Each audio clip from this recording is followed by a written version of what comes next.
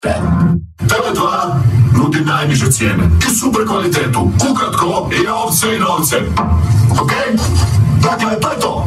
Ajmo snimiti reklamu.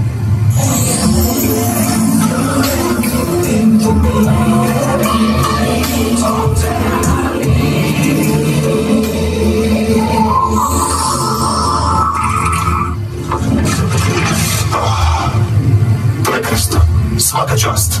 Najbolja reklama ikad.